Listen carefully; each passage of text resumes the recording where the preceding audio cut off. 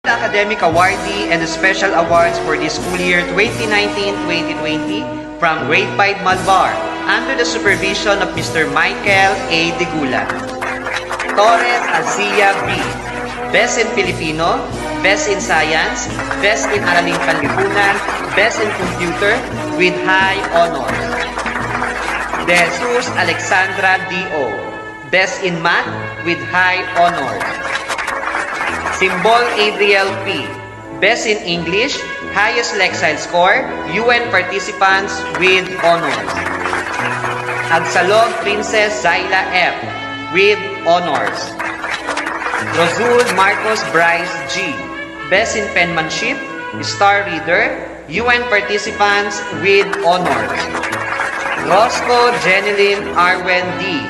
UN participants with honors and Paul Maria Cassandra A.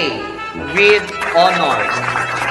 Kulanat Alaysa, UN participant. De Leon Elaina Antoinette G., highest Lexile Group.